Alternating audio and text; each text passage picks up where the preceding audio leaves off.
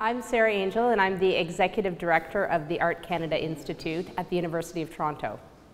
Lawren Harris was the unofficial founder and leader of the Group of Seven. He was somebody who was highly articulate, patrician, well born, well educated. In the early 1900s, 1904 in fact, he went to Berlin. He spent about five years in Berlin learning the techniques of post Impressionism. And he came back to Canada and he brought these techniques with him. And when he came back to Canada, what he wanted to do was paint the landscape with the techniques, with the methods that he had learned in Europe. Although he did that, he, he was irreverent and emphatic about stating that the work of the Group of Seven, his early work, that the only source of it was the Canadian landscape itself. He, he would never acknowledge that there was any sort of European influence upon his work. And he spoke uh, with much conviction throughout his life about the fact that Canadian art had to be a self-born, uh, self-generated factor. And, and that is something that he dedicated his early life to. This work, Grounded Icebergs, is a work that is, is fascinating because it can be understood as a, a, a, door that looks backwards to one point in Harris's life and forward to another. It was executed in 1930, and after Harris painted this work, he stopped painting for another four years. And the reason for this is that with this work, what Harris was trying to do was he was trying to he described it infuse abstraction with naturalism and spiritualism. But when this work was shown in 1930, it was shown with five other Arctic works. What he said of it was that he felt completely indifferent. Then what happened in Harris's life is he moved to New Hampshire. He took a position at Dartmouth. And when he was there, a new freedom emerged in his art, and he became an abstract painter. However, although he painted those works, the works that Harris is famous for, uh, the works that Canadians want to see, in fact, the works that the world wants to see, are the works of Lawren Harris's icebergs. And that's because these works became so iconic. They became the symbols of Canada. What we're looking at here with grounded icebergs is a piece of water that is just off of Godhavn, Greenland.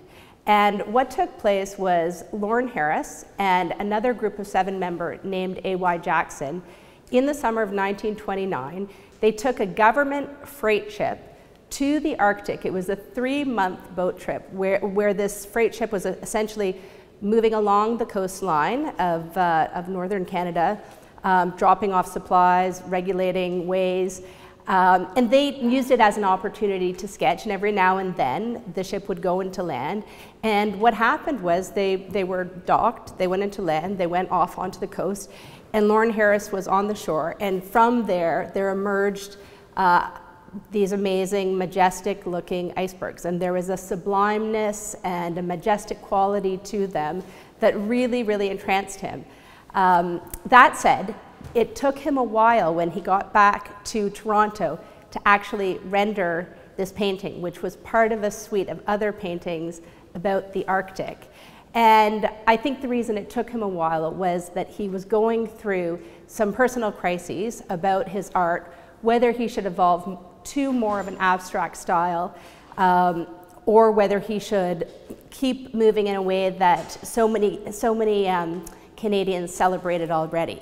So one thing that I, I, I, love about this exhibition, and I think it's so unique, is that Lawren Harris's Grounded Icebergs is situated right beside a painting by Georgia O'Keeffe. Lawren Harris moved to Santa Fe, New Mexico in 1938. And the way that art historians have documented this fact is that it was happenstance, that he and his wife were out for a drive and they ended up in Santa Fe and they decided to move there. Well, anyone who's taken a road trip from New Hampshire to New Mexico knows that it's a fair distance and probably somebody wouldn't just do that by chance. Um, we know, we know that Lawren Harris had a great admiration for Georgia O'Keeffe. There also is evidence through the painter Emily Carr of the relationship between Georgia O'Keeffe and Lawren Harris. Emily Carr in 1930 met uh, Georgia O'Keeffe, and it was an introduction that was facilitated through Lawren Harris. So um, although there aren't accounts of the two of them hanging out together in Santa Fe, I think there's a lot of evidence to show that Harris admired O'Keeffe's work enormously and that his arrival in Santa Fe was not just happenstance. Um, the two shared a lot of similarities. One of the key similarities between them is they both admired the work of theosophy. They both were very interested in the work of Kandinsky. They were uh, both extremely interested in spiritualism and how landscape painting could be used to convey a spiritual approach to the land and a spiritual understanding. But I think most of all, the thing that the two shared is that they had such a strong passion and belief that in North America, uh, artists had to define an art of their own. There had to be a continental approach to, to painting landscape. And, and both of them spoke about it passionately. Georgia O'Keeffe said, you know, with all of, with all of uh, the American artists going off to Paris, how was the great American thing ever going to happen? Lawren Harris said if we continue to bow to the taboos and the beliefs of a foreign land, we will never have our own indigenous art here. So very much they were connected through this belief of American, Canadian, uh, South American painters in the early 1920s who wanted to create a continental, uh, a hemispheric approach to landscape, one that was quite different what was, from what was taking place in Europe. Harris was a real advocate of art education, and he believed that unless people saw art from around the world, from other places, their own art would never emerge. So again, I think he'd be really pleased to be in this exhibition because what he was always trying to do, what he was so concerned about, was um, an international conversation about art.